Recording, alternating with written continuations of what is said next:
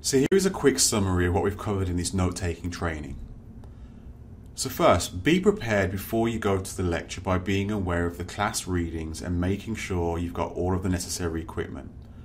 Secondly, pay close attention to verbal and non-verbal cues that may indicate how and what information you should be taking notes on. Third, adopt one or more of the note-taking systems for your in-lecture and your post-lecture notes. And then finally, focus on reviewing and consolidating notes effectively and in a timely manner.